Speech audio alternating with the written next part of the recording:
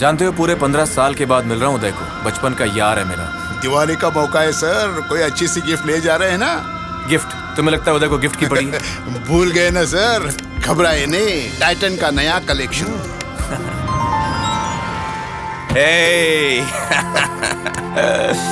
कैसा है? चलो सब इंतज़ार करो। रुक रुक। पहले इधर चल।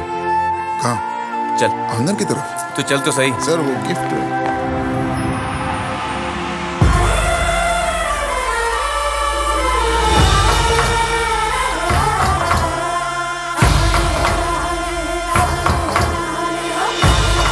टाइटन का नया फेस्टिव कलेक्शन घर ले आइए और अपनी दिवाली सजाइए।